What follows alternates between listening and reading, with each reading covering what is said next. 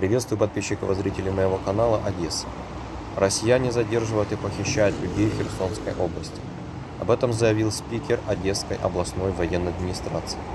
По его словам, оккупанты усиливают фильтрационные меры, чтобы снизить патриотические настроения среди населения. В частности, россияне, в том числе и кадыровцы, задерживают и похищают людей.